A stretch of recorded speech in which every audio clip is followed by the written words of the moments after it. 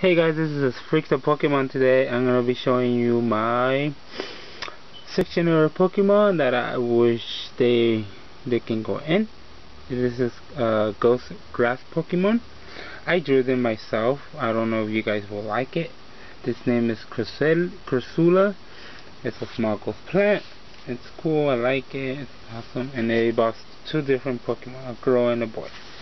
This is a girl, Mantropa it's fat loving plant. It's a ghost plant too. And I like it. I redid these pictures. I did this is my old pictures over here. Have all my old ones. They like got damaged yeah they're cool. They're awesome they got damaged but I redid them. Yeah Mantropa is a cool fat loving Pokemon plant. And the boy is uh, Petalum ghost plant Pokemon. It's awesome. I think it's cool. Uh, hope you guys like him too. We'll be seeing you soon and we'll have another raffle. Thank you. Peace. Bye dudes.